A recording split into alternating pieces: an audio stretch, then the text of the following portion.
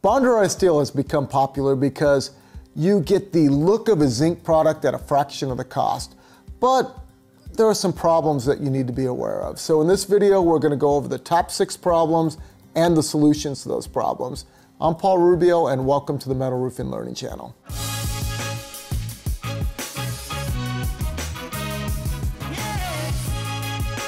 This is the Metal Roofing Learning Channel, brought to you by Western States Metal Roofing where you can find a variety of colors and finishes, all while saving by buying factory direct. Problem number one, no warranty. When you're using Bonderized, you're not using it for its intended purpose, which is to be painted. Instead, you're using it for an unintended purpose, which is because you like the way it looks. So for this reason, manufacturers will not offer a paint warranty. Another important consideration with Bonderized is the substrate beneath it um, which will normally be galvanized, but it's the amount of galvanizing that's important. At Western States Metal Roofing, we use a G90 galvanized finish. That's going to be the most amount of galvanized that you see on a bonderized product. Most other companies will use a G60 or possibly even a G40 finish. Uh, the reason this is important is because the bonderized coating itself offers almost no protection against the weather. So what you're relying upon is the galvanized coating beneath it the lesser the amount of galvanized, the lesser the lifespan of your roof. So this is why we always recommend number one to use a G90 and number two to ask your manufacturer if they are providing a G90, G60, or G40 substrate. So if the lack of warranty becomes an issue, there's actually some really good solutions. And that solution is to use a Kynar painted product that will actually look like Bonderized. Um, at Western States Metal Roofing, we have three products I would recommend uh, a matte musket gray or a color called matte patina, both of which about the same price that, that Bonderized is, or a product called Vintage that was actually designed to look like Bonderized. If you feel this is a better solution, uh, simply look in the description below and uh, request a free sample. Problem number two, inconsistency.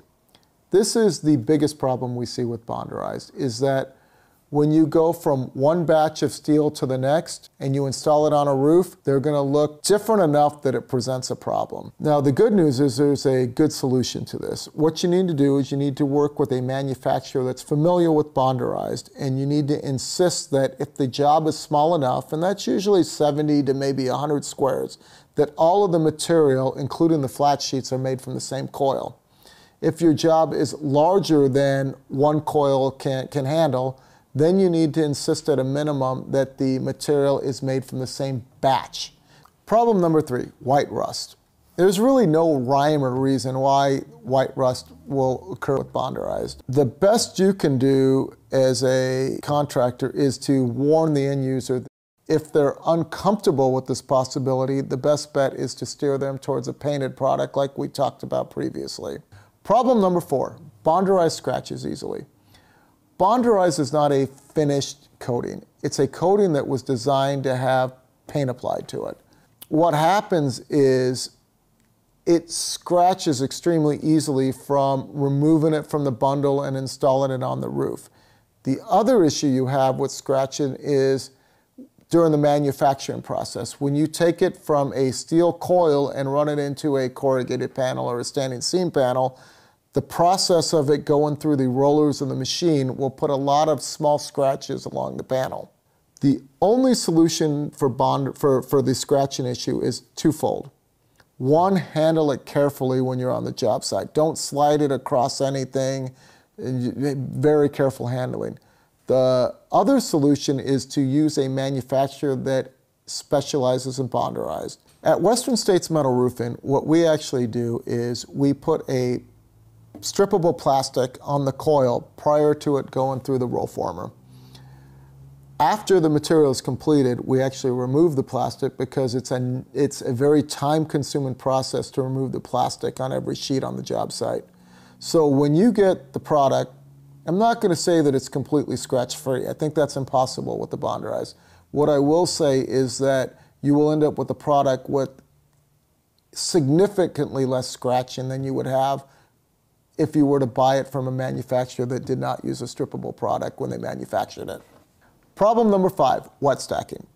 Bonderized does not do well with wet stacking. What wet stacking means is when you have a bundle, uh, let's say of corrugated, for example, where you have 30 sheets in a bundle and everything's compressed very tightly. If you were to leave that material exposed to the weather on the job site and it rains, for example, or even possibly you live in an area where it's wet in the morning and it's dry in the evening, if that moisture sits in that tightly compressed bundle and remains there, what will happen with bonderized is you'll develop white rust, even more white rust than if you were to install it where it started clean and develop white rust down the road. You'll, if it gets wet, you're going to immediately start out with a ton of white rust. You're going to have a customer that's angry, and it's just the nature of the product. The only possible way to get around it is you need to take extreme care in how you handle the, in how you store the product. Um, have it arrive on the job site when you're ready to install it. Don't have it sit there for longer than it needs to be. Store it in a dry place. Possibly tarp it. If you tarp it though, you need to be careful about the humidity. If you cannot do that, you should not use bonderized steel. Problem number six, the correct engineering values, wind uplift, and load tables. Most manufacturers have wind uplift, engineering values, load charts, etc., in which the steel that they're using, for example, if you're using 24 gauge, in most instances you're using a 24 gauge in a grade 50 steel. The problem with bonderized is when you buy bonderized from a service center, quite often it's not a grade 50, it's a commercial grade steel. Now, this might not seem like a big deal, but if you're installing a job in which all of your painted products, all of your galvanized products, everything's designed for a grade 50 steel, and now you're supplying a commercial quality steel, your engineering values are no longer valid. You're using a product that it's not designed for. Now, if you're simply installing a bonderized on a roof with a solid substrate, eh, probably going to have minimal effect. Siding product, probably not going to have much of an effect. Where you would definitely run into a problem is if you had a bonderized job where it has to span from support to support. You're telling the client that the material will carry one load, but you're supplying a product that does not in fact, carry that same load. So you could find yourself in problems, and if that job was to fail, technically you could be responsible. The only solution to this is to buy from a manufacturer that uses a grade 50 bonderized steel. That way, the load charts that they use for all of their other products are the same for bonderized. I hope this video has helped you, and if there's two takeaways I can give you, it's that number one, educate your end user of the potential problems that they might encounter with bonderized. And the second thing I'd really recommend is that if you're going to buy bonderized, buy from a company that specializes in bonderized. Don't buy from a company that occasionally sells bonderized. You can find step-by-step -step installation videos and homeowner guides on our channel. And don't forget to show your support by hitting the like button and subscribe. Want to learn more about bonderized? or the painted alternative vintage? Check out these videos.